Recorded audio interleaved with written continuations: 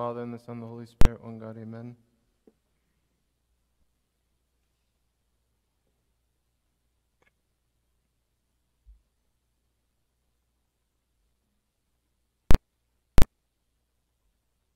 In the book of Revelation, in the midst of the prophecies and the symbols and the mysteries that are in there. Some people avoid the book because they don't understand. And in the midst of all this difficulty, there's a beautiful verse. The Lord says, As many as I love, I rebuke and chasten. Therefore be zealous and repent. Behold, I stand at the door and knock. If anyone hears my voice and opens the door, I will come into him and dine with him, and he with me. To him who overcomes, I will grant to sit with me on my throne, as I also overcame and sat down with my Father on his throne.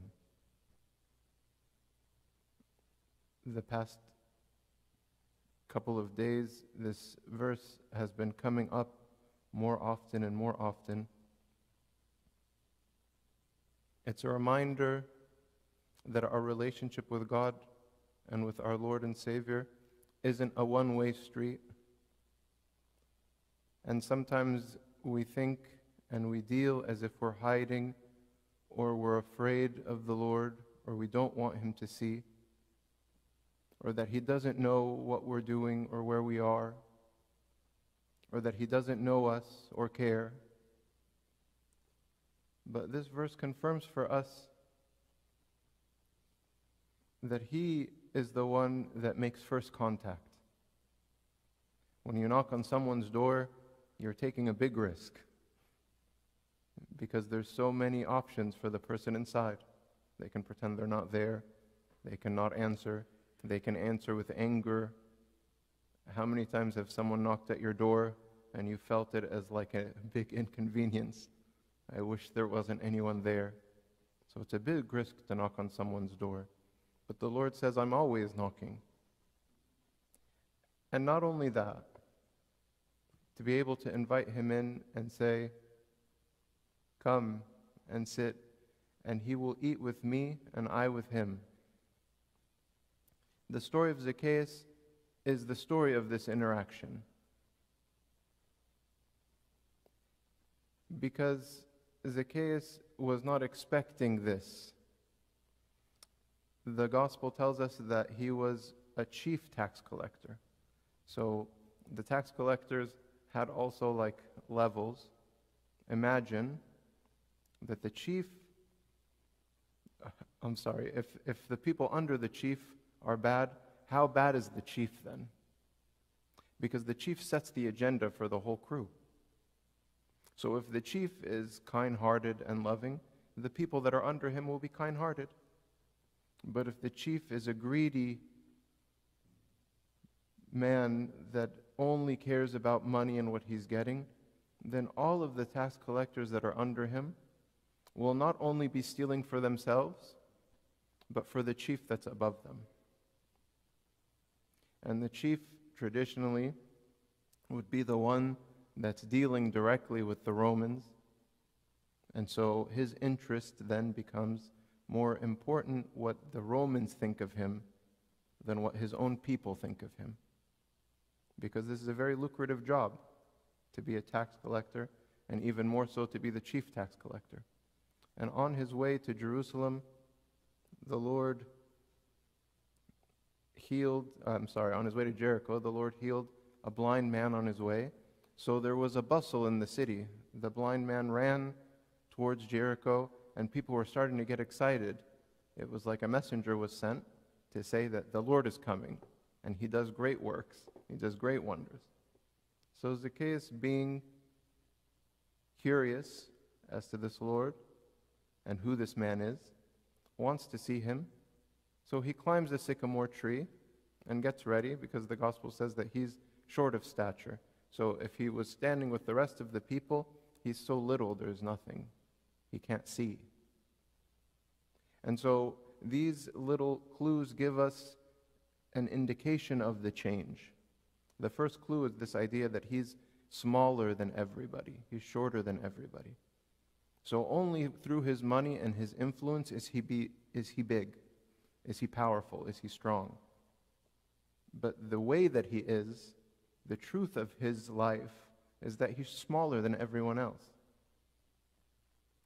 Another indication of who he really is is his name. Zacchaeus means pure or clean. And so his works and what he's doing are like the antithesis or against his true nature. And we also have this idea that we're created in the image of God, that our true nature is actually pure, that the Spirit that dwells within us purifies us and makes us pure. When we run away from that or we deny the presence of God in our lives, then that's when we brought, become like very low, as the Agpeya says. The third aspect, to perhaps like an indication of his coming change, is that he climbs a sycamore tree. And I was curious about what a sycamore tree is because I've heard it so many times, but I don't know what it is. So I looked it up. Sycamore tree is there's different kinds of sycamores, obviously, in um, the Middle East where this story happens. A sycamore tree is a tree that gives forth the sycamore fruit, which is like figs. And the sycamore tree is big and tall. And the person that gets this fruit and climbs up the tree and cultivates this fruit is considered the lowliest job that you can do. It's a very dangerous job, and it's a very thankless job. And so Zacchaeus, when he climbed the tree, again, it's an indication of his lowliness, his willingness for change, his willingness to go back to the things that he had left, his willingness to be better. And Taban, he doesn't know, he's just doing these things. But we know when we read them. An interesting aspect of this is that the prophet Amos was a cultivator of the sycamore fruit. One time he was speaking with the king at the time of Judah, Amaziah, and Amaziah said, You have no place here, get out of here. This is the place of the king. Angry Taban at Amos for daring to question him and his rule. And Amos answered and said to Amaziah, I was no prophet, nor was I a son of a prophet, but I was a sheep herder and a tender of sycamore fruit. Then the Lord took me as I followed the flock, and the Lord said to me, Go prophesy to my people Israel. So again, the idea that the Lord is who, if we give our heart to and ourselves to, makes us who we really are. And so Zacchaeus, after all of these things, the fact that he was so short, the fact that he climbed the sycamore tree, symbolizing his change to go from the most powerful and influential job to the lowest of the low jobs. When the Lord passes by, he looks up and tells Zacchaeus to come down from the tree. Today I will visit you and eat with you at your home, just like he says in Revelation. The open heart of Zacchaeus invites the Lord in. And Taban, the people that were around were angry. First of all, that everyone wanted to be with Christ. Everyone wanted to be there. Everyone wanted to be with him. And we also have this feeling too that we want to be known by him. We want to be his favorites. We want to be the ones that he focuses on. So when the Lord goes to the chief tax collector's house, the people became so overwhelmed with sadness because not only because he picked him, which seems odd, why, of all people. There's poor people here that have been struggling, that have been worshiping God for their whole life with thanksgiving. Why is he going to this person's house? Not only that, is that they weren't even allowed to go. It would be against their beliefs and against their feelings and against their Jewishness if they were to sit at this man's house also. It would be wrong. They would be considered outcasts. No one would sit with a publican. It goes against their religion, literally, and it goes against their sensibilities in their life. So Christ, going with this tax collector, Zacchaeus, into his house, eliminates everyone else. It's just him and the Lord. And it says, very quickly, after the gospel says the people were indignant when they saw it, they all complained, saying, He's gone to be with the guest to a, with a man who is a sinner. Right after that, it says, Then Zacchaeus stood up and said to the Lord, Lord, Lord, look, Lord, I have, I give half of my goods to the poor. And if I have taken anything from anyone by false accusation, I restore fourfold. And I remember when I would hear this gospel when I was younger, or I would read it, I would say, like, you kind of like do the math. Like, if he gives half of his goods to the poor, so that's half, and then he restores all the things that he's stolen from people or took without authority, which is all that they did. Like, his riches are all stolen. His money is all stolen. Every single cent is stolen. He had a small wage, and everything extra is the things that they sort of take. So if you do the math, you realize that he gave everything away. He just kept what he needed. Pure and clean change, starting from scratch. And even though the people judged him as the Lord walked into his house, he did the opposite of what he's always done, whereas before he would remind himself, Who cares about these peasants? I'm rich, I'm powerful, I have everything I need, I don't care what they think. I'll go into their house and steal from them again. Now, his response to their indignation, how could this be, is I understand now. The Lord has brought me to what I truly am. And because I've been brought down low, by the kindness and humility and love from the Lord, I'm willing to repay that love in kind. And we also do the same, because there's nothing that we can do to repay the Lord for his great sacrifice for us. As we know, when we ask the Lord, what can we do in return? You've given me everlasting life. You've given me a place to put all of my cares and worries. You've given me an opportunity to change my life and be better than I could ever imagine. If you think about it, the Lord changes us from mere organisms that are just living to being something way more interesting, way more powerful, way more deep. We're sons and daughters of the Creator. He knows us and we know him. We don't even know the mayor of Torrance. well, I don't know the mayor of Torrance. He doesn't know who I am. But the creator of the universe knows me and I him, and created me in his image, and gave me so much without expecting anything in return. But when we ask him, what can we give in return? He says, if I've given you love, then you take that love and you give it to others.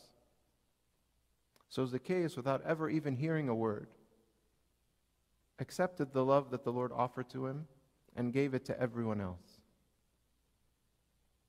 And learned a valuable lesson about love and about repentance and about change. And so we can also look within ourselves about this same thing.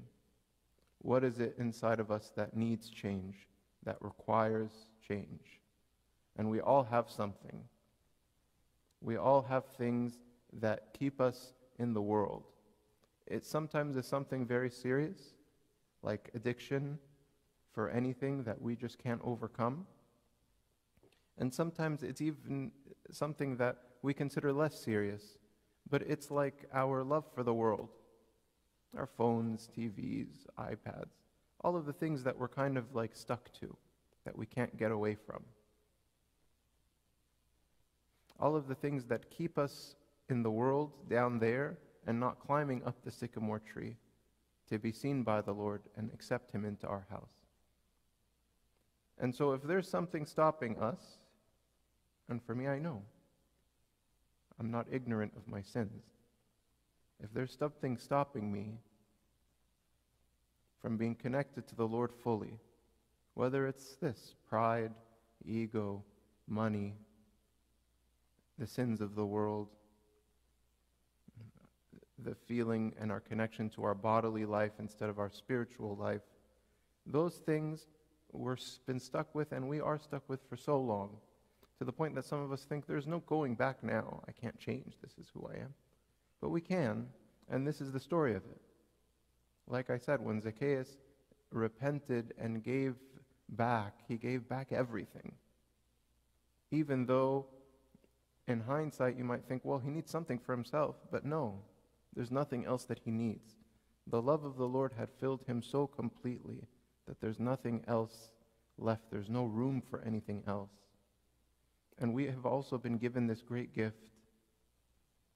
Zacchaeus was given the opportunity to dine with the Lord, but as I said in the beginning, the Lord is offering this to us every second of every day. We don't have to make an appointment, we don't have to wait. We can do it now.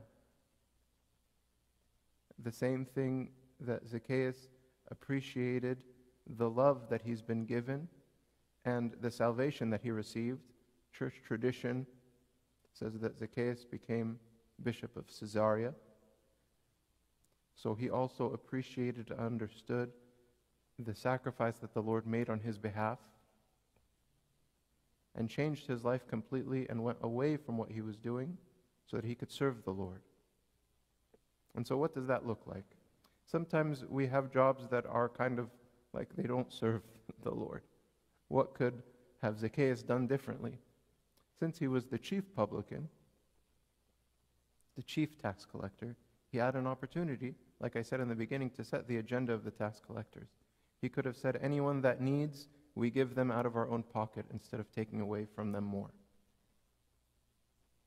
And we can make a difference and a change in these people's lives. I can give up my love of money and riches and my connection to mammon, and I could be the change that's necessary to bring joy in people's lives. With Christ, our whole mind changes. So I can imagine that he probably was still a publican for a little bit after that. But there's no need now to steal, there's no need now to take, there's no need now to intimidate. Only he can bring joy and love and happiness and the word of the gospel. Now he's a changed man. Instead of taking, he gives. Instead of uh, being completely like separated from the people, he joins them in their struggle and their strife. The tax collectors had chosen sides against their own people. Now he becomes one of them again. And so we also, in our repentance, when we show fruits of repentance or willingness to change, and then the Lord touches our hearts and we actually do change fully, then we leave the old things and return back to the original source of love the original source of what we've always known. And so, this is an opportunity today to read the story in earnest and say, if Zacchaeus can give away everything, then so can I.